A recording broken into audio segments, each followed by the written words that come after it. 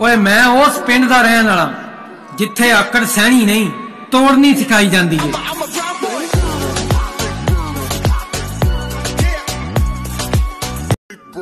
ਓਏ ਮੈਂ ਉਸ ਪਿੰਡ ਦਾ ਰਹਿਣ ਵਾਲਾ, ਜਿੱਥੇ ਆਕੜ ਸਹਿਣੀ ਨਹੀਂ। Likey